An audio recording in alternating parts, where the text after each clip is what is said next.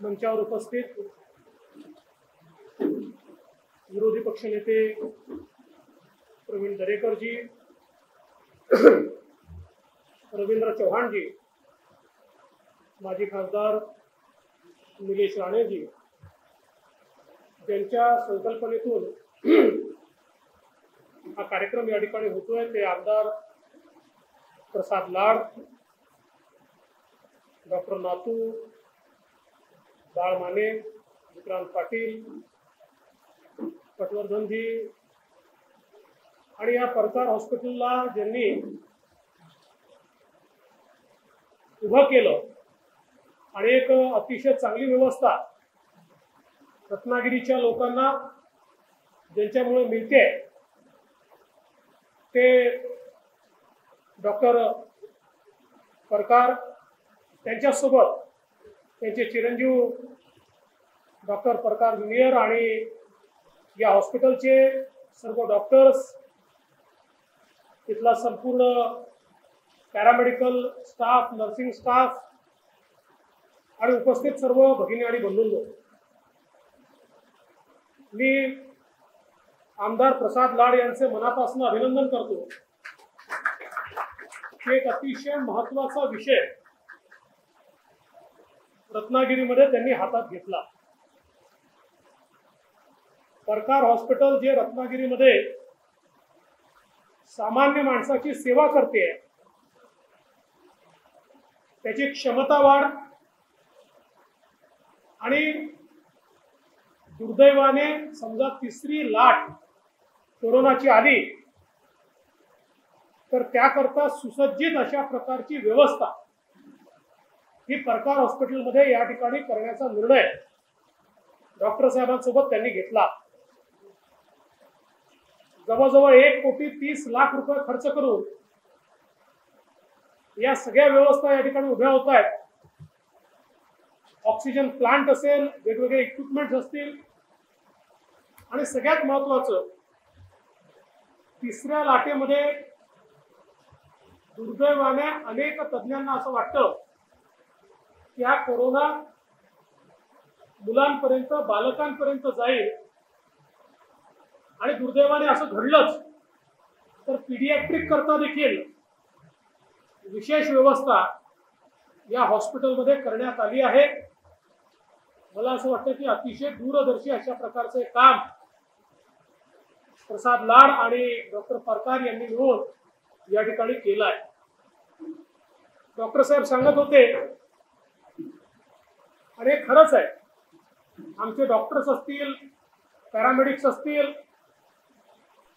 गेले सव्वा दीड वर्ष अविरत काम करत अतिशय विपरीत परिस्थितीत काम करत जेव्हा कोरोना काय आहे हे माहिती नव्हतं इलाज काय माहिती नव्हतं आणि व्हॅक्सिनही नव्हतं तेव्हापासनं तर आज व्हॅक्सिन येतपर्यंत अविरतपणे आमच्या हेल्थ वर्कर्सनी डॉक्टर्सनी या ठिकाणी काम केलं आहे आपल्यासमोर लोकांना सफर होताना पाहणं कधी कधी संपूर्ण प्रयत्न केल्यानंतरही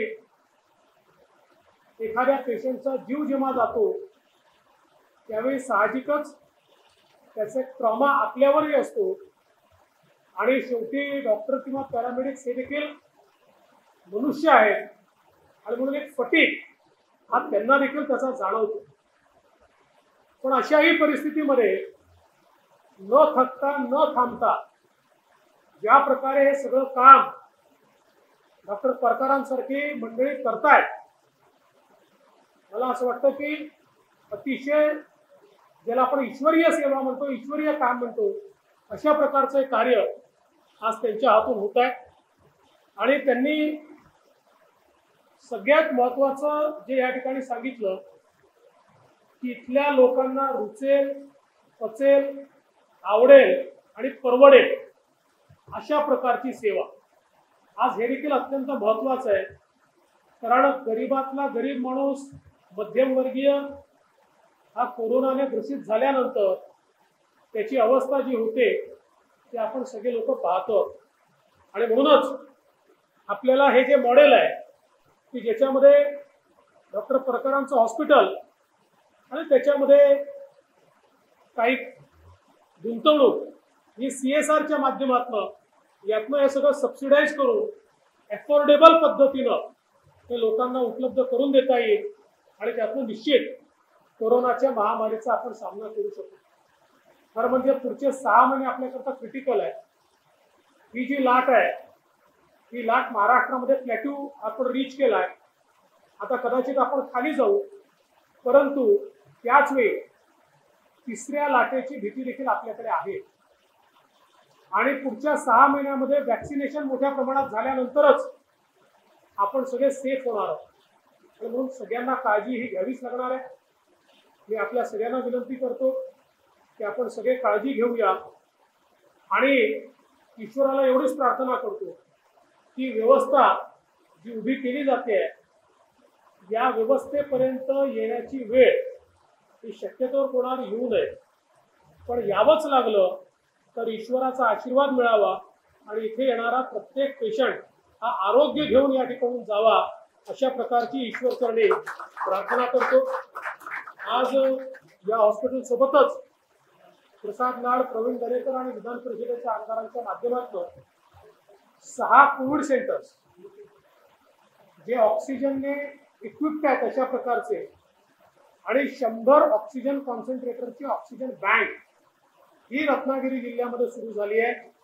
मला असं वाटतं की भाजपचे राष्ट्रीय अध्यक्ष माननीय नड्डाजींनी सेवा ही संघटन असा मंत्र या ठिकाणी दिला आहे आणि त्या मंत्राच्या अंतर्गत भारतीय जनता पक्षाचे लोकप्रतिनिधी कार्यकर्ते हे लोकांच्या सेवेमध्ये लागलेले आहेत.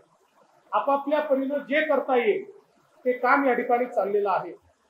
आता आम्ही कलेक्टरकडे मिटिंग घेतली. त्यावेळेस कलेक्टर आणि तिथल्या अधिकाऱ्यांनी देखील याचं समाधान व्यक्त केलं की ज्या प्रकारे भाजपचे कार्यकर्ते धावून येत आहेत. आज आमच्या राणे साहेबांनी मोठ्या प्रमाणात डॉक्टर्स आणि नर्सेस उपलब्ध करून दिल्या सिंधुदुर्गमध्ये तर त्यांचं जे मेडिकल कॉलेज आहे ते मेडिकल कॉलेज आज लोकांकरता एक लाईफलाईन ठरत आहे असंच वेगवेगळे जे आमचे कार्यकर्ते डॉक्टर नातू असतील बाळबाने असतील पटवर्धन असतील सगळ्यांनी आपापल्या परीनं प्रचंड मोठी मेहनत ही या सगळ्या काळामध्ये शासन प्रशासनाशी हात मिळवणी करून लोकांना मदत कशी करता येईल हा प्रयत्न या ठिकाणी केलाय. मला विश्वास आहे की आपला प्रयत्न सफल होईल आणि आपण लोकांपर्यंत आरोग्य पोचवू शकू. पुन्हा एकदा डॉक्टर परकार आणि प्रसाद लाड या दोघांचंही अभिनंदन करतो आणि माझं बोलणं संपवतो. जय हिंद जय महाराष्ट्र.